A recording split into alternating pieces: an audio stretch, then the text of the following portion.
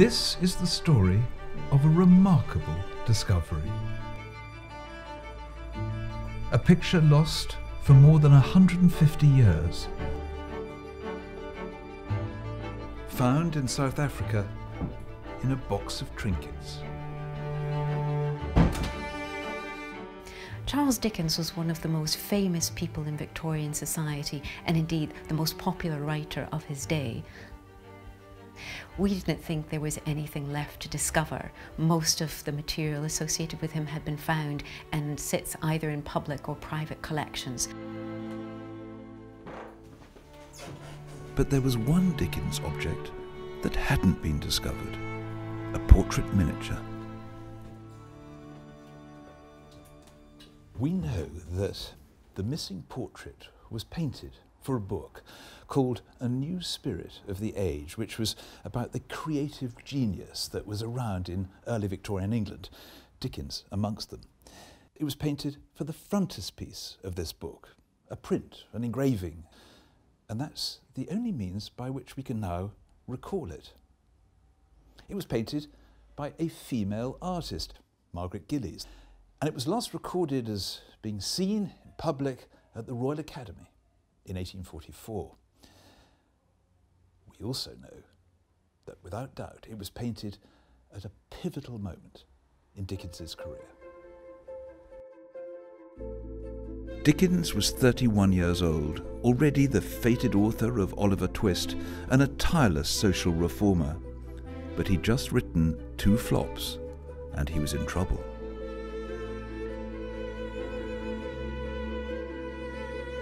So this is a letter from Dickens writing to Margaret Gillies confirming their appointment uh, for him to come and sit for, for a portrait. It's written in July, uh, a few days before they were due to meet. So, so it appears, you know, just at the time of, of all of this uncertainty in his life, he's sitting on the 25th of July at 12 o'clock to a female artist. Another letter that we've got is from a few months later. It's a letter which is far more newsy and friendly. Tomorrow, Tuesday at three o'clock, I will dutifully present myself, having now got rid almost of a cold which had ridden roughshod, as the newspapers say, over my features. Okay, he's a vain man, isn't he? That's right. Uh, would you like me to ask Mr. Maclise, that'd be Maclise, the Royal Academician, uh, to look in during the sitting. So he wants a, another major artist to be there. That's right. And Maclise was a very good friend of Dickens, and Dickens had been very pleased with the portrait Maclise had done of him a couple of years before.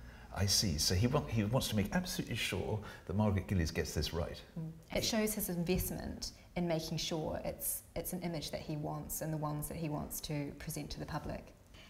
And that fantastic Dickens signature. It's like Queen Elizabeth I, isn't it?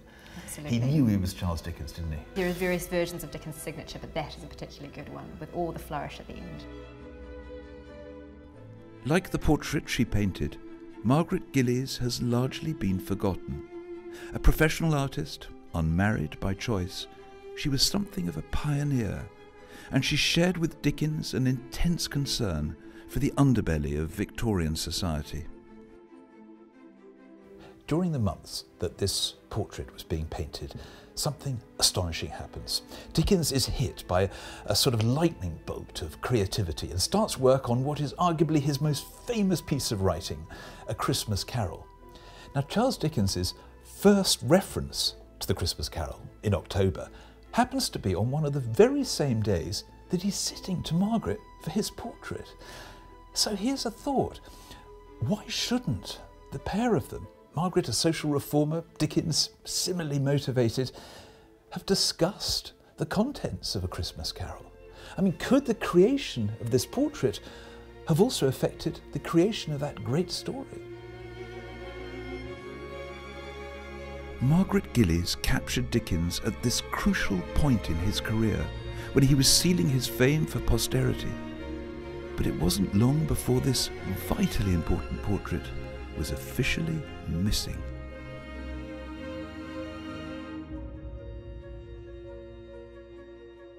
This is a letter from Margaret Gillies written in 1886 and you can tell from her handwriting that she is, she is mm. an elderly woman at this point.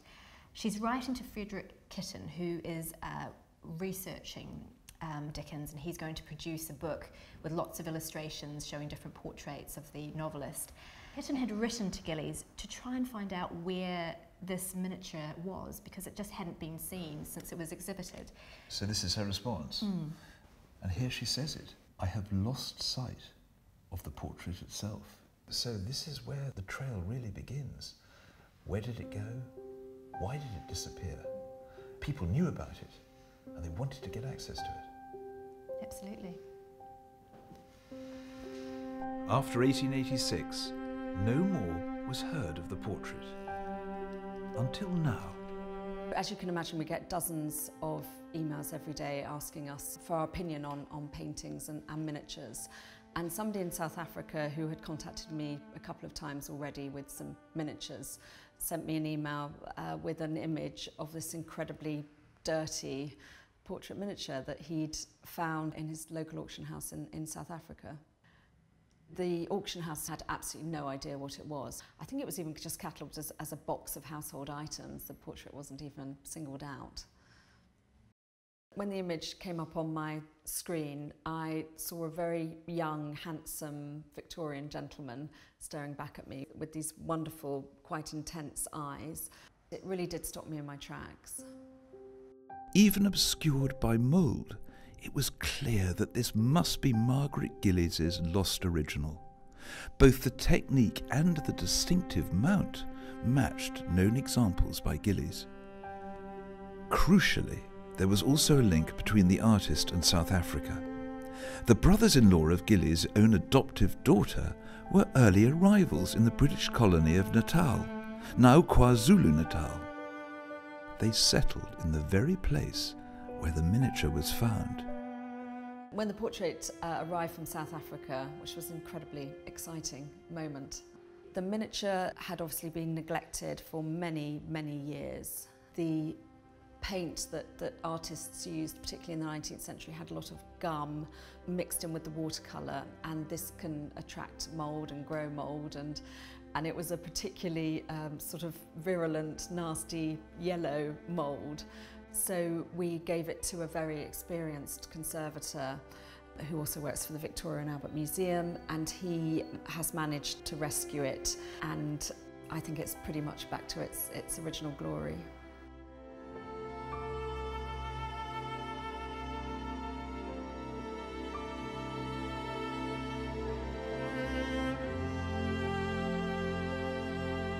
Margaret Gillies's portrait is so different from other images of writers of the period when you compare it to the image above me, one of his favourite portraits by Samuel Laurence.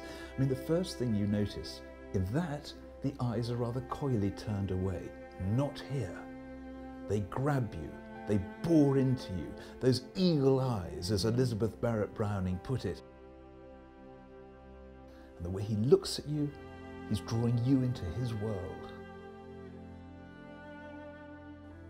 Margaret Gillies is not just sensitively and convincingly capturing the features of what's in front of her in the form of Charles Dickens, but also the inner man, the genius that lies behind him.